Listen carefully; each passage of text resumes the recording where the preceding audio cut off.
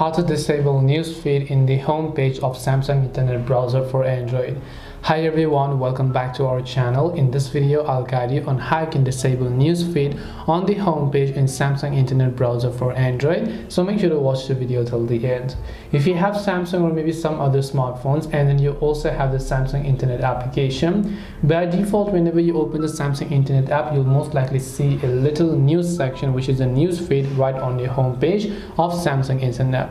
And if you want to disable that news feed, it is actually quite simple to do so because as you can see in my case also I've already happened to disable it. Once you've done that just tap the three lines option from the bottom right of the screen. Once you tap the three lines option from the bottom right go to settings. Once you go to settings go to this option called home page. By default some other google feed or anything as such is going to get selected. So from there you have to just select quick access and here you can see web links provided by samsung. Now once you've done that the news feed will no longer show you all those random news and so on. And that's all it takes to go ahead and then basically actually disable newsfeed on the home page hope this video was very helpful. If you have any questions feel free to leave them down. Thank you for watching and see you in the next video